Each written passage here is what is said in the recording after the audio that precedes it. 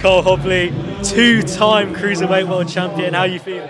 Feeling good, yeah. I've got my baby, my first baby. My other baby's at home. Um, yeah, buzzing, buzzing.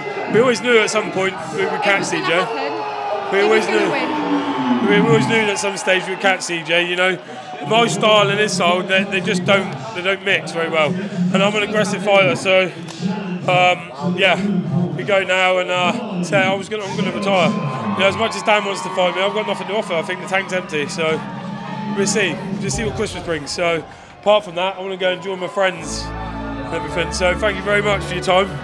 Thanks to everybody else. So all right.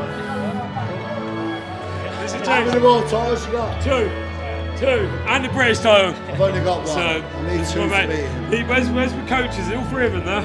Yeah. Can I get my coaches that? quickly? James. Cheers. On, baby. Get Nah, the nah, coaches. Wait, Steve. Well, I get it, get that, get in that. Uh, we bought, else to remember. we, we bought, Steve's always encouraged me to go to other gyms and train. When our gym was shut for a refurb, brought in Ian, who's Southpaw, one of the best coach, uh, best amateur boxers in, in, in the country. Steve, Wayne, you know, between us, they, they did something different to me, you know. But they let us a fire and it ignited, but I can't see a way forward. I'm going to stick to amateurs, stick to the amateur game, and like coaching wise, no more fighting. But yeah, we're done. Tank's empty. So as much as many people like Dan Palmer wants to fight me, Do you know who he is?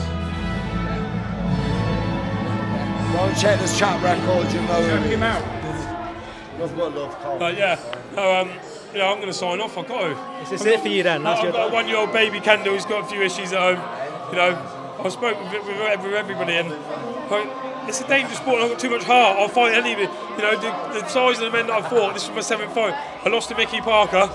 You know, for a doctor stoppage, but you end up getting hurt in this sport. I don't want to bring up my babies being a fucking cabbage. So yeah, I think I'm done. I think I'm done. So.